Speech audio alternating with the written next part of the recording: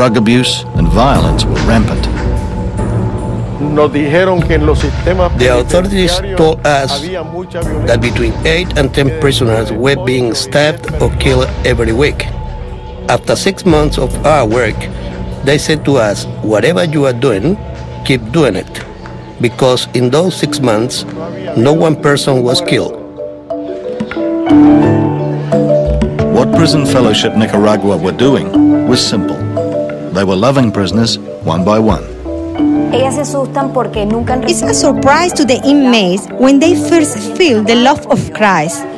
The love we give them is one they have never received before. They feel overwhelmed.